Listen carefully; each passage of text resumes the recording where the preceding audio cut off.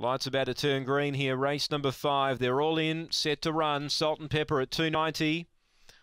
They're ready away. She jumped okay. Mally Dreamer began fast. Psychotic Babe and out wide was Velocity Fairy who's going to clear them all. So Velocity Fairy with a great turn of toe early led by three. Psychotic Babe second. Buzz Along gets into busy work now. Runs to third. Two lengths to Salt and Pepper. Then came Victor Sage, uh, Mally Dreamer, Wellback Crown Sally and Compton Test. Leader is Velocity Fairy but have a look at Buzz Along just buzzed alongside and went straight past the leader buzz along, storms away. One by three to Velocity Fairy, Victor Sage, and Salt and Pepper. Next in was Mally Dreamer, uh, Psychotic Babe, Crown Sally, and Compton Tess. It's a nice win by Buzz Along here for Barry Stewart. Over the top. Nice run three uh, three starts ago when she ran second.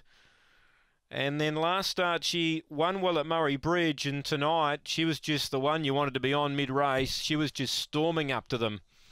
Buzz along, and she's finished hard to win 30 and 77 the run. Number eight is second, Velocity Fairy. And number six, third, Victor Sage, doing its best work late, 486. 486, one fourth, 30 and 77 the run. It's four and a quarter the winning margin uh, by three quarters, 4861 after race number five at Angle Park.